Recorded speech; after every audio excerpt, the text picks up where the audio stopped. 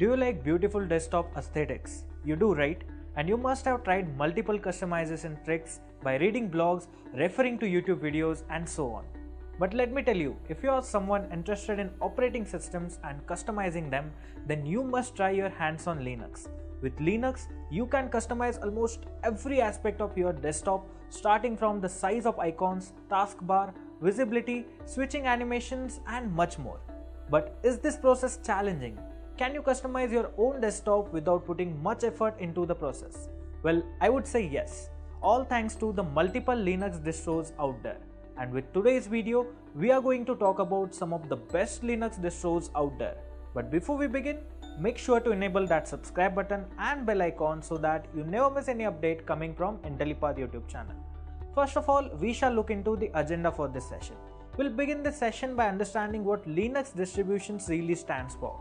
Then, we'll glance through the history of Linux distros and then finally we'll discover top 5 Linux distributions for 2023. I hope I have made myself clear with the agenda. So, without wasting any time, let's get started with the first topic. What is Linux distribution? Guys, generally in operating systems like Windows or macOS, each bit of code is combined internally and they release it as a single package. You'll have to choose from one of the versions they offer. But Linux is completely different from these operating systems. Linux is not entirely developed and managed by a single entity. It is basically the world's largest open source software which can be inspected, run, redistributed or modified by anyone or any organization. In most operating systems, only the individual, team or organization who generated the source code holds complete authority over it. This type of software is referred to as proprietary or closed source software. Only the original developers of proprietary software have the legal right to copy, inspect, and modify it. And in order to use it, computer users must agree that they'll not do anything with the software that the software's authors have not expressly permitted. Microsoft Windows, Apple App Store, and Adobe Photoshop are examples of this proprietary softwares which we majorly put to use. Open source software is unique. The authors or designers of these applications make the source code available to anybody who wants to read, copy, learn from it, or redistribute it. The Linux operating system was released under GNU General Public License and hence the different parts of Linux are designed and developed by different organizations. What I mean by different parts here is that the core components of the operating system such as kernel, shell, utilities, X server, system environment, graphical program, etc. And the best thing here is that if you want, you can access the codes of all these different parts and assemble them yourself to sort of create your own operating system distribution. But it's not an easy task, considering you'll have to spend time in finding the source codes for these different parts and then sort of assemble them. From here on, distribution or Linux distros comes into picture. They assemble all these parts for us and give us compiled operating system of Linux to install and use.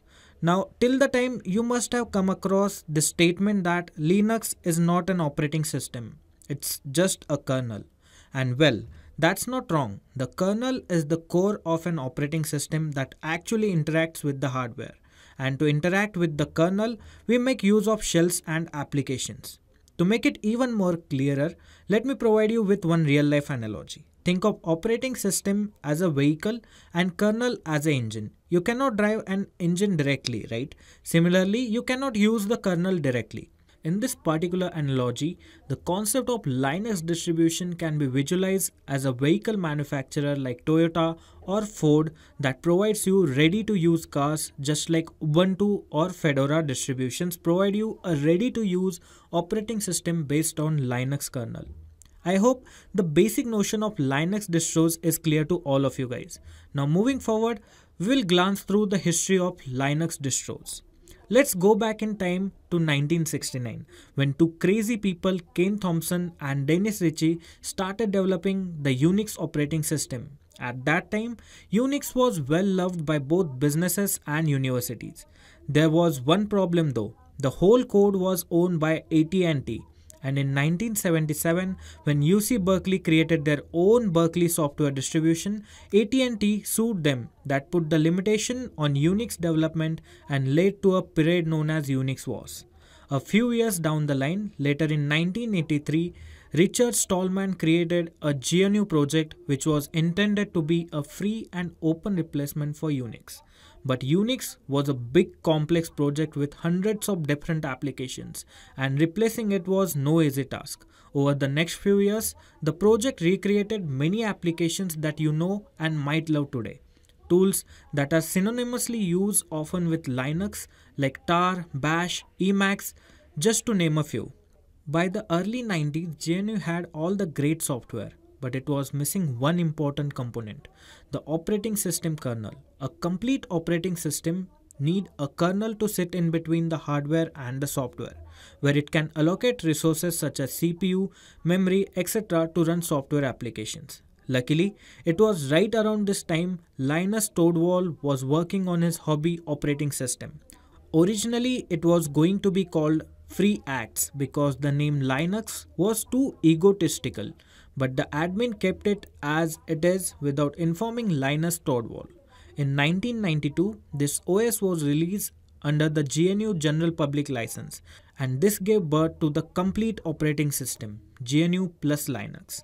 The beauty of the Linux kernel is that it gave developers the ability to build custom operating systems that felt like Unix but didn't come with the fear of being sued down the road. Ultimately, this led to some of the first Linux distributions like Soft Landing, Slackware, etc. These Linux distros were the complete operating systems based on the Linux kernel that contains a bunch of packages and libraries, and typically a package manager to install additional applications and possibly a Windows system if there is GUI involved. Many distros share the default user interface, and the popular user interfaces when it comes to Linux are GNOME, KDE Plasma, MATE Cinnamon, and bunch of others. Today, there are thousands of Linux distros out there, and they have all been customized to serve different purposes. Some of them are only running on servers, some are just for selected set of users. Some are for general population running this OS on mobile, desktop and embedded systems. Such distros Every distro is backed by a community that has its own set of philosophical and technical opinions. Most of the early days distros are no longer maintained and are just considered as historical artifacts. Not only that, as we are seeing in this graph, Linux distros space is heavily fragmented to the point that a new distribution is being created almost every day. A very few of them are unique and bring something different to the table. Most of them are just the same Ubuntu or Debian based with a different theme or a wrapper. Furthermore, the distro landscape is so dynamic that it changes every month. Some Linux distributions become more stable with ever changing packages and components, while others become unstable in quality. Hence, it's challenging to pick and choose the best Linux distribution for your school, work, or for just casual browsing, watching movies, etc. Not to mention, many Linux distributions are discontinued every year due to lack of contributions, cost overrun, and other reasons. That being said, let me tell you about the top 5 Linux distributions for 2023 which are perfect for any user or any use case. On number 5, I have Pop OS. System 76, an American computer firm, created the Pop OS for their hardware lineup. However, it is one of the most well known and rising Linux variants based on Ubuntu. The Pop OS is most renowned for being optimized for contemporary hardware, including NVIDIA graphics, and for bringing several unique features not seen in the regular Ubuntu with GNOME Desktop. For example, you get well-designed Cosmic Desktop with Pop OS, built-in tiling features, well-optimized power controls, and a stunning Pop Shop. The Pop Shop is a software store designed by its maker to give you a well categorized set of applications for your study, learning, development, gaming, etc. This distribution is also perfect for gaming if you plan to start your Linux journey with gaming in mind. In addition, if you want to get a professional grade Linux distribution with official help and support, you should check out Actual System 76 hardware with Pop OS. It is one of the supreme products out there in the market. Next up, we have Linux Mint Cinnamon at 4. One of the Linux distributions that simply works in any sort of hardware has to be Linux Mint. This operating system can be run smoothly on any older hardware PC or laptop with little RAM and an older CPU. Furthermore, with Linux Mint, furthermore with Linux Mint, you do not need to install any additional applications after a fresh install. It comes with every possible driver and utility for all use cases. For example, your printer, webcam and Bluetooth would work in Linux Mint. In addition, if you are new to Linux or Windows user who plan to migrate, then it is perfect distribution to start. Its legacy menu driven Cinnamon desktop is one of the best open source desktops today. I mean, I would say if you are confused or don't have time to decide which distribution is ideal for you, go ahead with the Linux Mint Cinnamon. Then at number 3, we have the Ubuntu LTS release with GNOME. The Ubuntu LTS release is the most popular, most downloaded and used operating system software. There is no debate about the strength and stability of Ubuntu LTS version. It has been time tested with a large community of support. Ubuntu LTS editions with the customized GNOME may be the ideal fit for your requirements. Most third party apps and games are primarily aimed for Ubuntu, giving you a considerably larger support base than any other distribution on our list. However, recent canonical initiatives such as pressuring users to embrace Snap and other things may cause you anxiety if you are an expert user. However, for casual users who wish to surf the internet, view movies, listen to music, and conduct personal work, Ubuntu LTS editions are the finest Linux distributions to use. Then, for second rank, we have KDE Neon. The KDE Neon is based on the Ubuntu LTS release at its base. But the KDE framework and KDE applications with KDE Plasma Desktop are the latest from the team. The primary reason for featuring this is that it is perfect for you if you want a Ubuntu LTS based distribution but want the latest KDE applications. In fact, you can use it for your daily driver for years to come, provided you keep your system up to date. In contrast, the Kubuntu LTS release are also perfect, but they may not have the latest KDE framework or applications.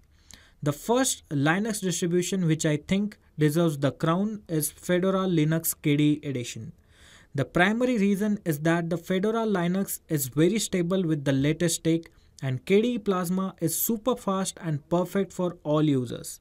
Moreover, this Fedora and KDE Plasma combination doesn't require further modification or tweaks after installation. Over the last couple of releases, and after the latest Fedora 36 release feedback, Fedora Linux with KDE Plasma has become the go-to distribution for every possible use case and workflow.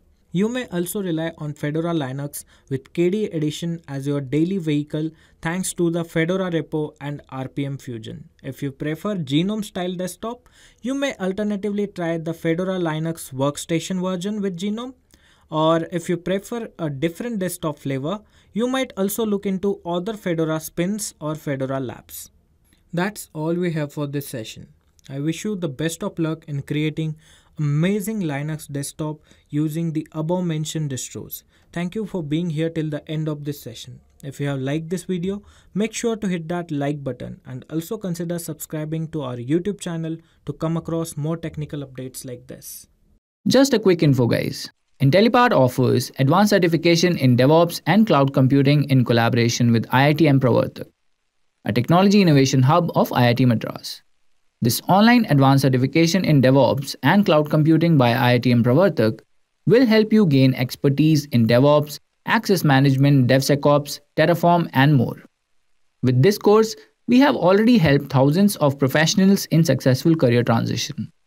You can check out their testimonials on our Achievers channel. The link is given in the description below.